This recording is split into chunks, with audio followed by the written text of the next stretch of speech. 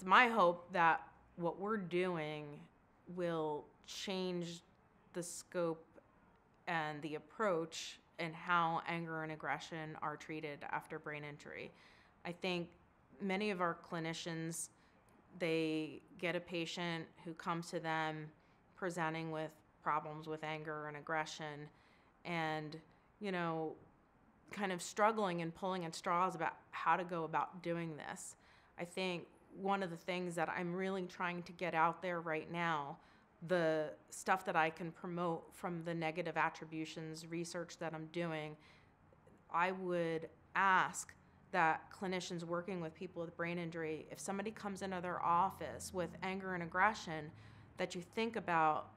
whether or not this has anything to do with the way that they are interpreting other people's behaviors.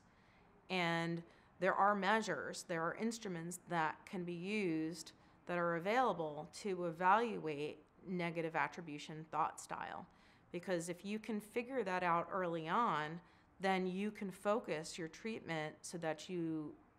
are teaching them how to change the way they interpret other people's behaviors